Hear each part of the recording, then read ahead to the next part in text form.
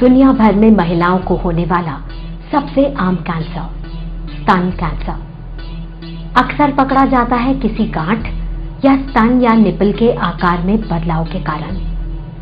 अक्सर पकड़ा जाता है महिला द्वारा ही।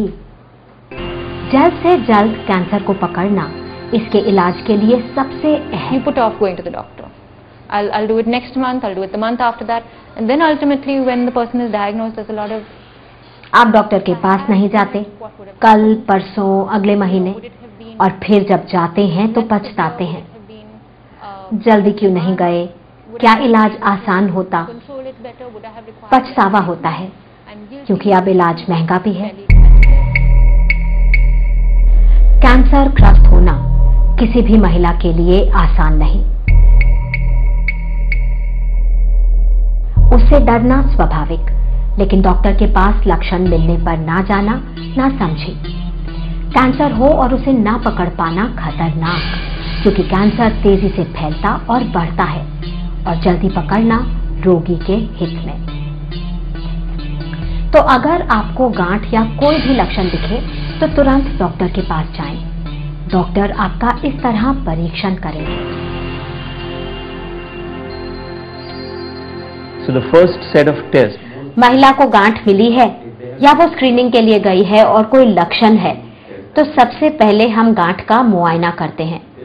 वो छूने में कैसा है? मैमोग्राम में कैसा है?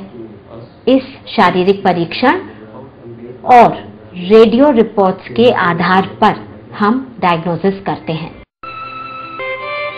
डॉक्टर आपका शारीरिक परीक्षण करेंगे और हो सकता है कि मैमोग्राफी कराने को कहें।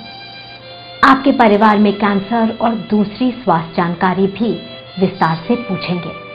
याद रखें, हर 10 में से आठ गांठ कैंसर की नहीं होती।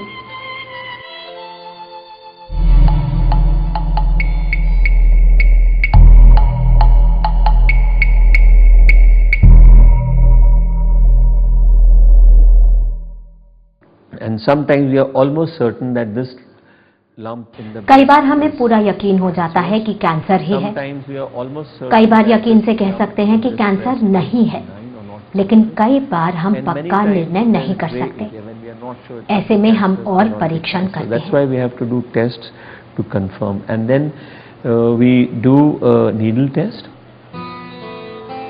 F N A C fine needle aspiration cytology एक बहुत महीन सुई से गांठ की कुछ कोशिकाएँ निकाली जाती हैं। इसमें एक मच्छर के काटे जितना दर्द होता है ये सैंपल लैब में टेस्ट होता है।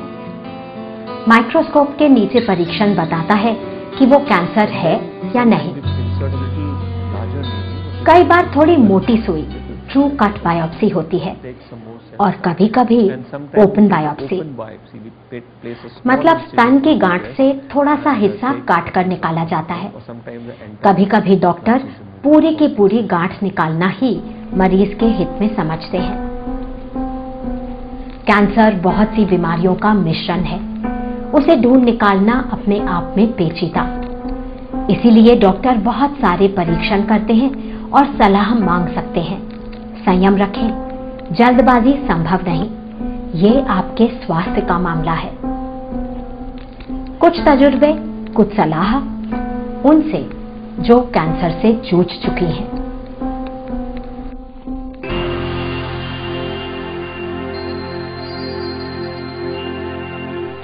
So I walk into Hinduja. There was a long queue to get the report. तो मैं अस्पताल गई।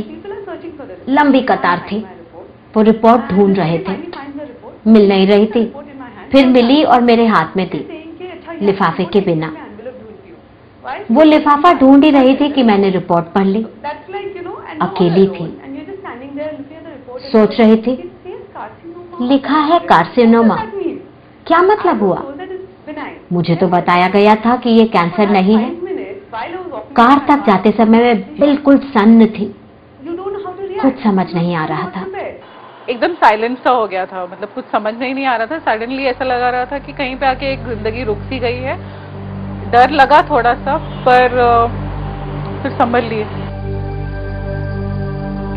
कैंसर के लिए कोई तैयार नहीं होता। लेकिन कैंसर हो तो उसे स्वीकार करना और इलाज ही एक रास्ता।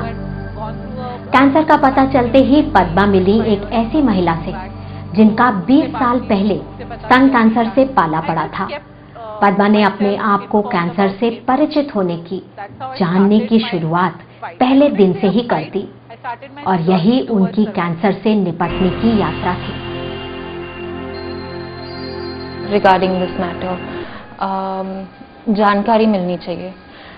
Information is the most important thing is the first step very often जो डरावनी चीज़ है we we don't know much about it you know इतनी जानकारी नहीं होती है।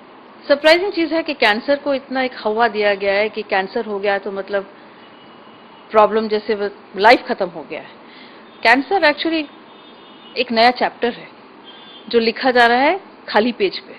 और क्या उधर लिखा जा रहा है वो डिपेंड करता है कि ये लेडी किस तरह से वो अपने को देखती है परसीव करती है और किस तरह का वो प्रॉब्लम आया है। हर कोई कैंसर किलर डिज़ीज़ नहीं होता है। कैंसर ब्रेस्ट कैंसर क्यूरेबल है। Breast cancer is curable. The second most curable cancer in body after thyroid cancer.